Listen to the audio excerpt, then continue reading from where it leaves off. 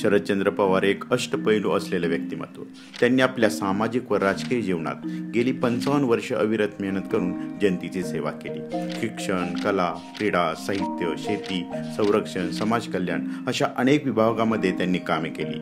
महाराष्ट्राचे मुख्यमंत्री असताना किल्लारीचा भूकंप मराठा विद्यापीठ नामांतर अशा भावनिक प्रश्नावर त्यांनी योग्य निर्णय घेतला. मात्र या सर्वांमध्ये आपल्यासमोर एक प्रश्न अनुत्तरित राहतो. तो म्हणजे पवार साहेबांनी महिला विकासासाठी नेमकं काय केलं?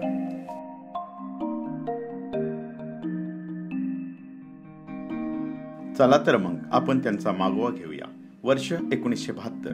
पवार साहेबांना पहिल्यांदाच मंत्रिपदाची संधी मिळाली. त्यांना सर्वप्रथम ग्रह व सामान्य प्रशासन या खात्याची जबाबदारी देण्यात आली. ती जबाबदारी त्यांनी योग्य रीतीने हाताळत असताना ती बदलून घेत त्यांनी स्वतःहून समाज कल्याण खात्याची जबाबदारी स्वीकारली. त्यांनी महिला व बाल कल्याण खाते स्वतंत्र केले.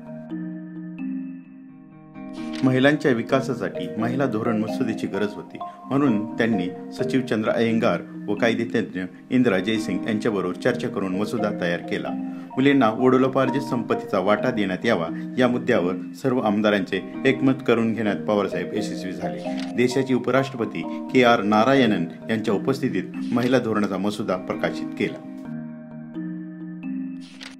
वर्ष एकोणीसशे ब्याण्णव. राष्ट्रीय महिला आयोग या धर्तीवर देशात प्रथम महाराष्ट्राने राज्य महिला आयोगाची स्थापना केली. या धोरणाचा मूलभूत उद्देश आर्थिक राजकीय व शासकीय पातळीवर निर्णय प्रक्रियेमध्ये महिलांना पुरेसे आणि प्रभावी प्रतिनिधित्व देणे. स्थानिक स्वराज्य संस्थामध्ये महिलांना तीस टक्के आरक्षण देणे. स्त्री पुरुष समानता फक्त बोलून येणार नाही तर ती प्रत्यक्ष कृतीत असावी लागते. यासाठी शरद पवारने आपली एकुलती एक कन्या सुप्रिया यांच्या जन्मानंतर स्वतःच नसबंदी करून घेतली. एकोणीसशे त्र्याण्णवमध्ये भारताचे संरक्षण मंत्री असताना लष्करामध्ये पुरुषांच्या बरोबरीने महिलांना देखील प्रवेश मिळावा म्हणून निर्णय घेतला गेला.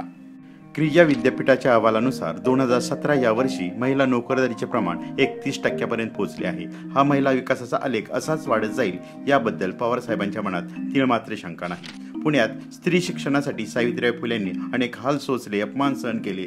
त्याच पुण्यात सावित्रीबाई फुले पुणे विद्यापीठ नामकरण होणे व त्या समारंभाला पुण्याच्या महिला महापौर उपस्थित असणे हे चित्र पाहताना विलक्षण समाधान लाभते.